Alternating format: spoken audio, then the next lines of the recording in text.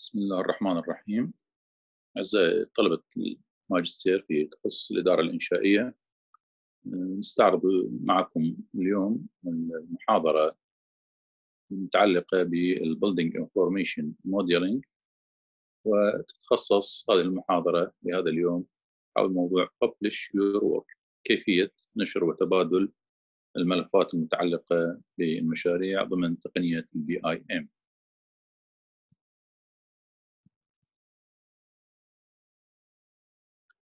العناصر الرئيسية في هذه المحاضرة هي ال external collaboration sharing the BIM model sharing documents sharing the 3D model reviewing and future trend. العنصر الرئيسي اللي خلقته تقنية ال BIM هو إمكانية التعاون والتشارك بين أطراف المشروع المختلفة وبين أفراد الفريق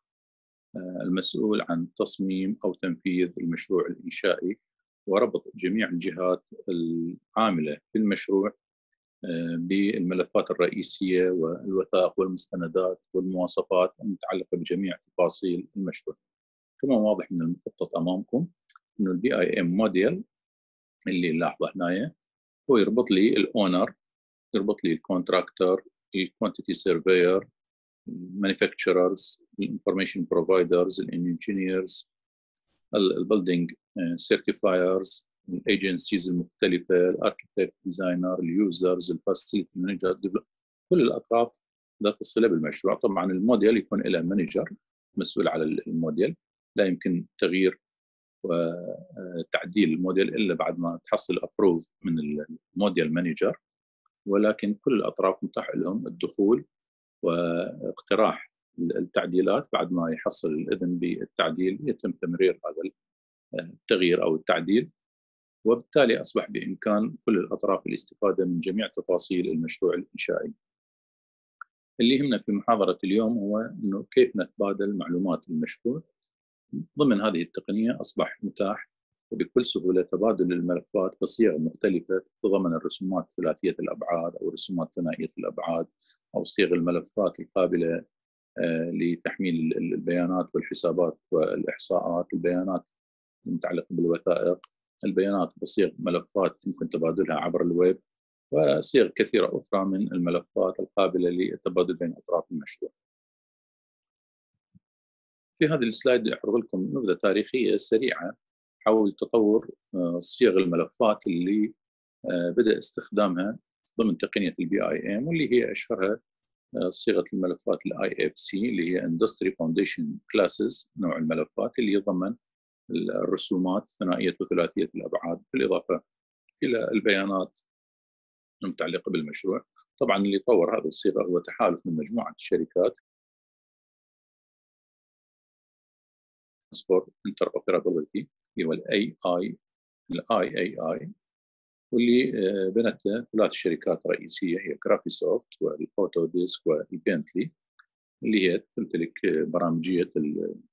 الاوتوكاد والجرافيسوفت والاركيكاد وبرنامج بنتلي هاي البرامجيات الأربعة الرئيسية. من خصائص هذا النوع من الملفات ذات الامتداد اي اف سي إنه الملف يشمل جميع متعلقات المشروع من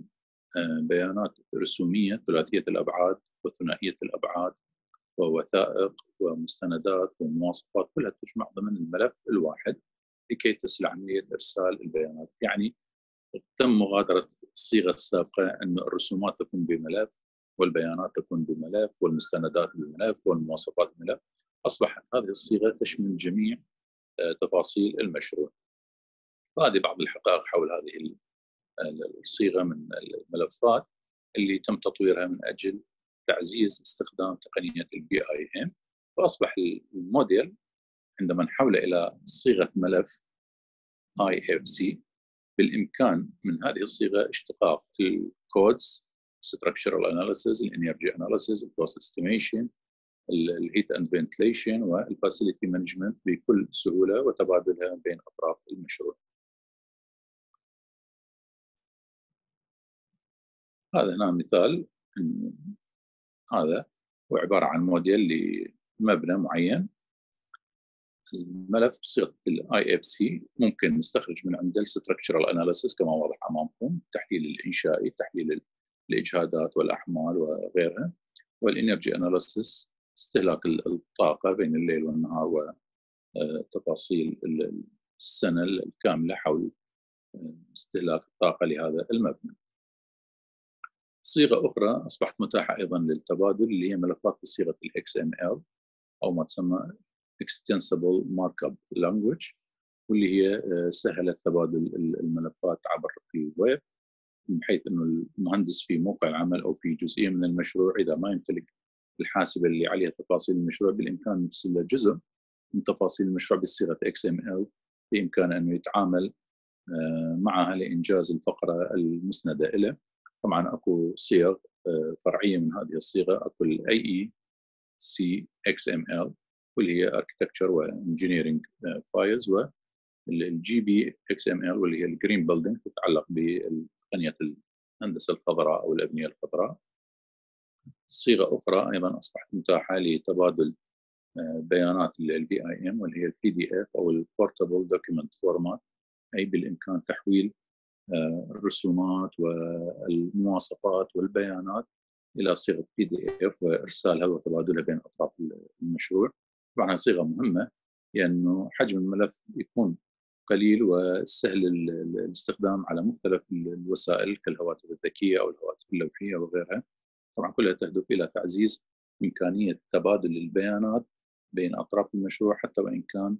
الشخص المستخدم بعيد عن الحاسبة الرئيسية أو الحاسبة الفرعية بإمكانه يحصل على البيانات المطلوبة لتنفيذ الفقرة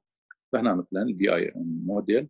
إلى ال tools of documentation تصدر لنا ملفات PDF قد تكون رسومات مخططات تفاصيل ومواصفات متعلقة بجزء من المشروع. صيغة أخرى من الملفات التي يمكن من خلالها تبادل البيانات هي الملفات الرسومية dot drawing وأيضا بالإمكان الحصول على مخططات ثنائيه الأبعاد وتبادلها بين اطراف المشروع. صيغة أخرى DWF اللي هي design web format وهي أيضا من الصيغ المهمه فلو كان الشخص يعني لا يمتلك أي وسيلة لإظهار البيانات بالإمكان تصدير البيانات المطلوبة بملف آه، بصيغة DWF يفتح من أي متصفح بالإنترنت وتظهر الرسومات أو التفاصيل أو البيانات اللي يحتاجها المهندس أو الشخص المنفذ في موقع العمل. وأيضا هذه العملية تسهل المراجعة بين أطراف المشروع فبالإمكان إذا كان استفسار على تفصيل صغير مثل الموجود هنا من أحد أطراف المشروع بالإمكان أنه يرسل هذه الجزئية إلى المهندس اللي موجود ضمن آه، دائرة التصاميم أو دائرة الإشراف